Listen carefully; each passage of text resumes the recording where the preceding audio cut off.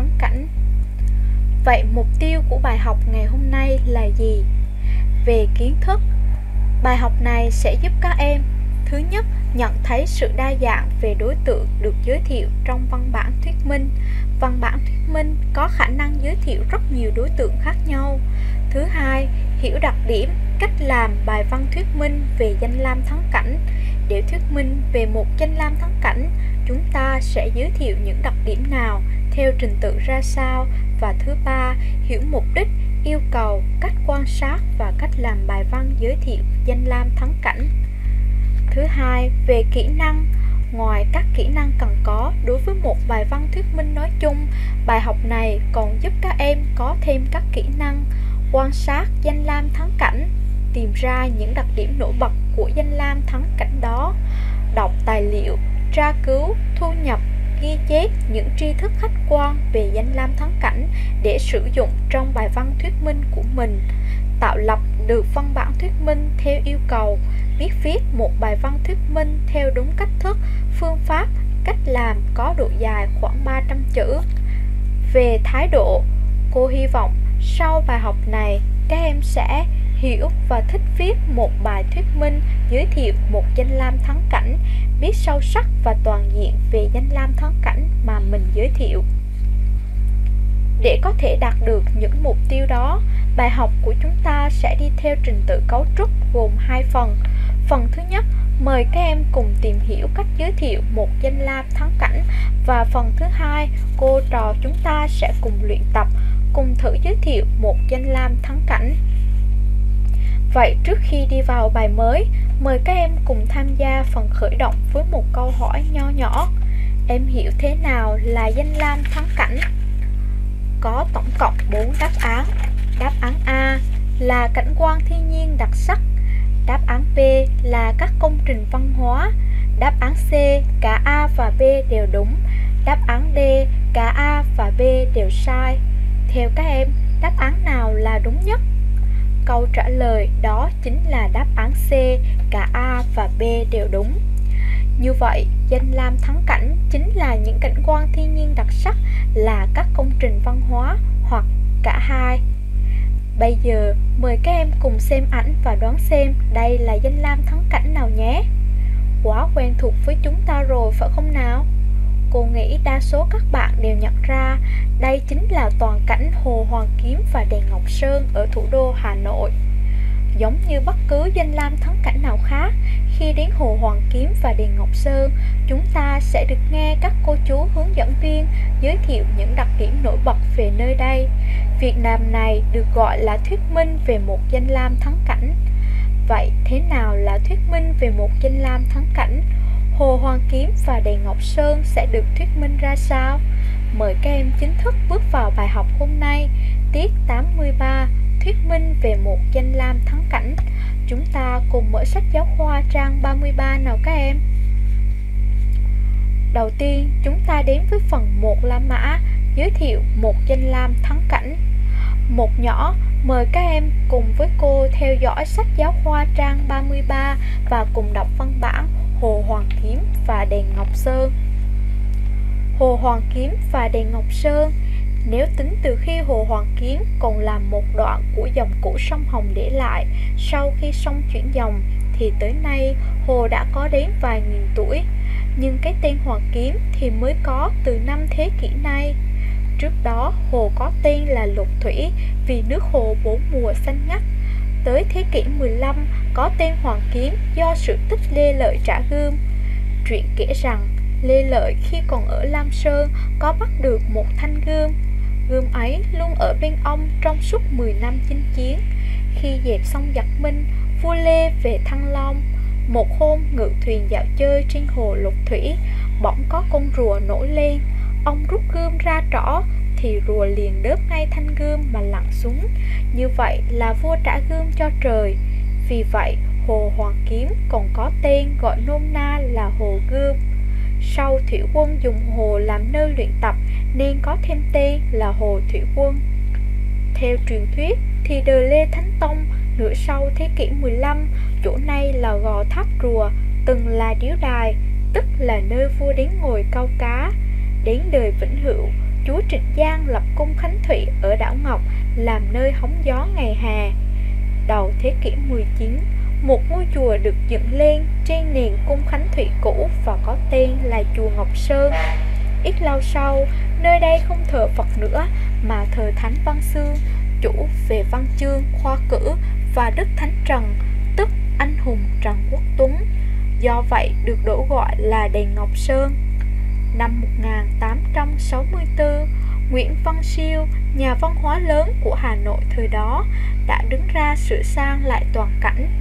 Trên gò ngọc bội, ông xây một ngọn tháp hình bút lông, thân tháp có tạc ba chữ tả thanh thiên, có nghĩa là viết lên trời xanh. Đó là tháp bút. Đi qua tháp bút tới một cửa cúng gọi là đài nghiêng, vì trên có đặt một cái nghiêng mực bằng đá. Qua đài nghiêng đến cầu Thê Húc, có nghĩa là nơi ánh mặt trời đậu lại. Cầu dẫn đến cổng đền Ngọc Sơn, đèn có ba nếp, nếp ngoài là bái đường, nếp giữa là nơi thờ Văn Xương và nếp sau thờ Trần Hưng Đạo. Trước mặt bái đường là trấn Ba Đình, đền trắng sóng. Nhìn thẳng về hướng nam là tháp rùa. Tháp chỉ mới có từ cuối thế kỷ 19 nhưng đã trở thành biểu tượng quen thuộc của Hồ Gươm, Hà Nội. Ngày nay, khu vực quanh hồ đã thành tên là Bờ Hồ, là nơi nhân dân thủ đô dạo chơi ngày hè, nơi đón giao thừa, lại còn là nơi tổ chức hộ hoa đăng, đèn hoa, pháo hoa trong những dịp lễ Tết hàng năm, theo lịch văn hóa tổng hợp năm 1987-1990. Như vậy, cô và các em đã cùng nhau đọc hết văn bản thuyết minh Hồ Hoàng Kiếm và Đèn Ngọc Sơn. Bây giờ, cô trò chúng ta sẽ cùng tìm hiểu xem người viết đã thuyết minh những gì và thuyết minh như thế nào nhé. Trước hết, mời các em xác định đối tượng thuyết minh của văn bản này là gì nào? Quá rõ ràng rồi phải không các em? Đối tượng thuyết minh nằm ngay ở nhan đề, đó chính là Hồ Hoàng Kiếm và Đèn Ngọc Sơn. Vậy ở đoạn thứ nhất, người viết đã giới thiệu cho chúng ta những hiểu biết gì về Hồ Hoàng Kiếm các em? Đọc đoạn 1, chúng ta thấy Hồ Hoàng Kiếm được giới thiệu ở hai điểm chính về lịch sử và về tên gọi. Về lịch sử, Hồ Hoàng Kiếm đã có vài nghìn năm tuổi và theo dòng lịch sử này, tên gọi cũng nhiều lần thay đổi. Ban đầu có tên Lục Thủy, đến thế kỷ 15 đổi thành Hồ Hoàng Kiếm hay Hồ Gươm, sau đó lại đổi sang Hồ Thủy Quân. Đó là đoạn thứ nhất. Vậy đến đoạn thứ hai, chúng ta lại có thêm những hiểu biết gì về đền Ngọc Sơn các em?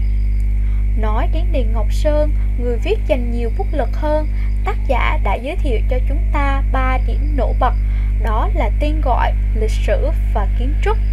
Về tên gọi, trước đây nó có tên là Diếu Đài, Cung Khánh Thụy, sau đổi thành chùa Ngọc Sơn và cuối cùng là đền Ngọc Sơn cho đến tận ngày nay.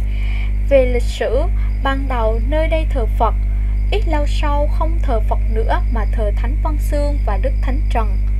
Cuối cùng về kiến trúc được chia thành nhiều phần trên gò ngọc bội là tháp bút. Đi qua tháp bút tới đài nghiêng. Qua đài nghiêng đến cầu Thê Húc. Cầu này lại dẫn đến cổng đền Ngọc Sơn. Như vậy, ở hai đoạn đầu tiên của văn bản Chúng ta đã lần lượt có những hiểu biết về lịch sử, tên gọi, kiến trúc của Hồ Hoàng Kiếm và đền Ngọc Sơn. Theo các em, để có được một bài viết như thế thì người viết cần có kiến thức về những lĩnh vực nào? Dễ dàng đoán được, để có thể giới thiệu về Hồ Hoàng Kiếm và đền Ngọc Sơn, người viết phải thông thạo kiến thức về lịch sử, văn hóa, kiến trúc và cả kiến thức về từ Hán Việt để sử dụng văn phong cho phù hợp các em nhỉ? Vậy làm thế nào để có được những kiến thức ấy?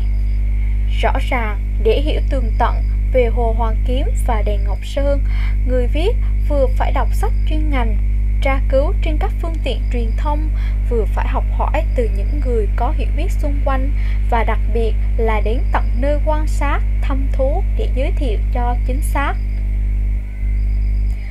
Và bây giờ cùng nhìn lại văn bản một lần nữa, các em thử phân chia bố cục và trình tự sắp xếp nhé. Chắc chắn mỗi bạn sẽ có một cách phân chia riêng, nhưng cách phân chia dễ dàng nhất theo cô, chúng ta sẽ chia thành 3 phần theo 3 đoạn như văn bản. Đoạn thứ nhất giới thiệu về Hồ Hoàng Kiếm, đoạn thứ hai giới thiệu về đền Ngọc Sơn, đoạn thứ ba hoạt động của người dân thủ đô ở Hồ Hoàng Kiếm và đền Ngọc Sơn. Theo như bố cục trên, nhớ lại cách chúng ta tạo lập một văn bản thuyết minh. Các em thấy bài viết này có thiếu sót chỗ nào không các em? Phần mở bài chưa thấy phải không nào? Lẽ ra người viết nên có một đoạn nho nhỏ giới thiệu khái quát về Hồ Hoàng Kiếm và đền Ngọc Sơn rồi mới đi vào thuyết minh những đặc điểm chính kem nhỉ. Và bây giờ cô muốn hỏi thêm, trong bài này tác giả đã sử dụng những phương pháp thuyết minh nào? Dễ thấy nhất là phương pháp giải thích. Bài viết có khá nhiều từ Hán Việt để người đọc hiểu rõ người viết đã giải thích nghĩa của những từ ấy. Ví dụ như Hồ có tên là Lục Thủy vì nước hồ bốn mùa xanh ngắt. Thân tháp có tạc ba chữ tả thanh thiên có nghĩa là viết lên trời xanh. Cầu thi Húc có nghĩa là nơi ánh mặt trời đậu lại. Một phương pháp nữa cũng dễ nhận thấy đó là phương pháp liệt kê. Khi thì tác giả liệt kê các tên gọi, khi thì liệt kê các bộ phận kiến trúc và để bài viết mang tính chính xác cao, người viết đã sử dụng thêm phương pháp dùng số liệu về các mốc thời gian như là thế kỷ 15, đầu thế kỷ 19, năm 1864, vân vân. Nhưng thuyết minh như thế là đã trọn vẹn chưa, hấp dẫn chưa? Mời các em cùng quan sát các ảnh sau và suy nghĩ chúng ta nên bổ sung thêm những gì để bài thuyết minh của mình tăng sức hấp dẫn hơn nhìn kỹ chúng ta sẽ thấy bài viết chỉ tập trung giới thiệu những đặc điểm về lịch sử, tên gọi, kiến trúc. Thiết nghĩ khi giới thiệu về Hồ Hoàng Kiếm và đền Ngọc Sơn, chúng ta cần giới thiệu thêm về vị trí địa lý. Hồ Hoàng Kiếm và đền Ngọc Sơn tọa lạc ở vị trí địa lý như thế nào, quang cảnh nơi đây ra sao, như là cây cối, màu xanh của nước, thỉnh thoảng rùa nổi lên, vân vân, độ rộng hẹp của hồ, của đền. Như vậy, bài viết mới có sức biểu cảm hấp dẫn, không còn khô khan như trước nữa. Như vậy, cô trò chúng ta đã cùng nhau đọc tìm hiểu những nội dung liên quan đến văn bản thuyết minh Hồ Hoàng Kiếm và Đền Ngọc Sơn. Đây là văn bản đặc trưng cho kiểu văn bản thuyết minh về một danh lam thắng cảnh. Tóm lại, từ việc viết được một bài văn thuyết minh về một danh lam thắng cảnh, chúng ta cần phải làm gì và chú ý những yêu cầu nào? Cô xin nhắc lại một lần nữa. Muốn viết được một bài văn thuyết minh về một danh lam thắng cảnh, chúng ta cần phải đến nơi thăm thú, quan sát trực tiếp hoặc tra cứu sách vở, hỏi han những người có hiểu biết về nơi ấy. Một bài văn thuyết minh về một danh lam thắng cảnh cần phải đạt những yêu cầu sau. Bố cục đủ 3 phần mở bài, thân bài, kết bài. Kiến thức đáng tin cậy, khách quan, trung thực sử dụng các phương pháp thuyết minh thích hợp kèm theo miêu tả, bình luận khi cần thiết để bài văn tránh được sự khô khan. Và cuối cùng lời văn chính xác nhưng cũng không kém phần biểu cảm riêng phần này các em chú ý đọc và học thuộc những nội dung trong phần ghi nhớ sách giáo khoa trang 34.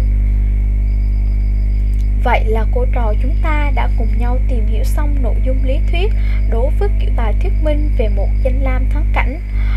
Cô hy vọng tất cả các bạn đã hiểu rõ những đặc điểm và cách làm đối với kiểu bài thuyết minh này. Và bây giờ mời các em cùng đến với phần 2 lớn luyện tập để cùng thực hành những nội dung các em đã được học từ đầu tiết đến bây giờ nhé. Bài thứ nhất, lặp lại bố cục bài giới thiệu Hồ Hoàng Kiếm và đền Ngọc Sơn.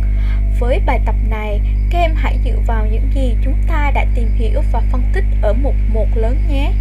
Chúng ta sẽ bổ sung thêm phần mở bài và một số nội dung miêu tả mà người viết cùng còn thiếu theo ý của các em cùng suy nghĩ và ghi ra giấy nháp trước nhé. Sau đây, mời các em cùng theo dõi một dàn bài gợi ý mà cô đã soạn sẵn. Tất nhiên, cô xin nhắc lại, các em hoàn toàn có thể viết một dàn bài theo ý của các em miễn sao cho hợp lý là được. Theo cô, mở bài, các em nên giới thiệu bao quát về quần thể danh lam thắng cảnh Hồ Hoàng Kiếm và đền Ngọc Sơn. Phần thứ hai, phần quan trọng nhất, thân bài, các em có thể giới thiệu địa danh này theo trình tự như sau. Vị trí địa lý của danh lam thắng cảnh. Thắng cảnh có những bộ phận nào? Nguồn gốc, quá trình xây dựng, tôn tạo. Riêng phần này các em sẽ lần lượt giới thiệu và mô tả về từng bộ phận. Không gian bao quanh hồ Hoàng Kiếm như là cây cối, màu xanh của nước và vị trí của thắng cảnh trong đời sống của nhân dân thủ đô, cả nước, du khách nước ngoài Cuối cùng, ở phần kết bài, một lần nữa các em nên nhắc lại về ý nghĩa lịch sử văn hóa của thắng cảnh, bài học về giữ gìn, tôn tạo thắng cảnh. Như vậy, thời gian dành cho tiết học của chúng ta cũng sắp hết. Bây giờ, cô trò chúng ta sẽ củng cố lại những gì đã được học trong tiết học hôm nay các em nhé. Có một bài tập nho nhỏ dành cho các em, đó là phần điền từ còn thiếu vào chỗ chấm. Tất nhiên, đó là những từ ngữ then chốt các em cần nhớ sau bài học.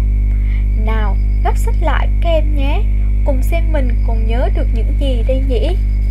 Nội dung thứ nhất mà cô muốn các bạn củng cố viết bài văn thuyết minh về một danh lam thắng cảnh thì phải đến nơi thăm thú.